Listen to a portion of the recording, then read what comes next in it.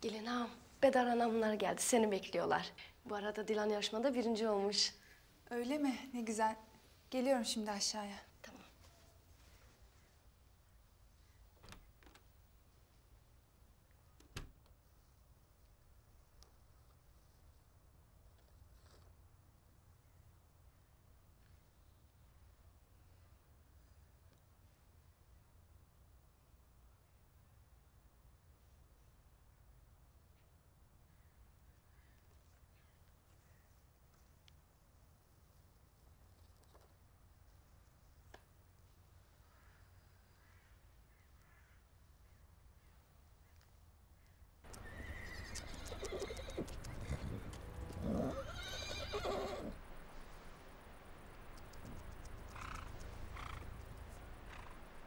Haftaya İstanbul'a gidiyorum.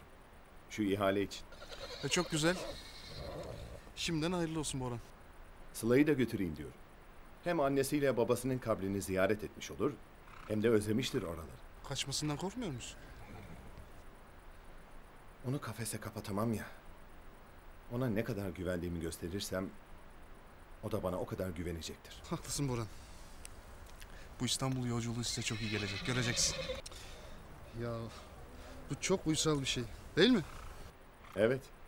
Ama benim çiftliğe daha genç bir at lazım. Bunları bir süre sonra yılkıya bırakmak gerekir. Doğru haklısın.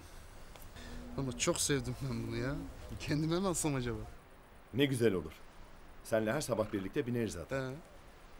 Boran ağam. Bir de butayı göstereyim size. Bu çok küçükmüş bir Erdal. Öyle ağam. Biraz hırçındır. Ama ehlileştirdiğiniz zaman görsen bunu. Bütün atlara nal toplatır. Demek hırçın ha?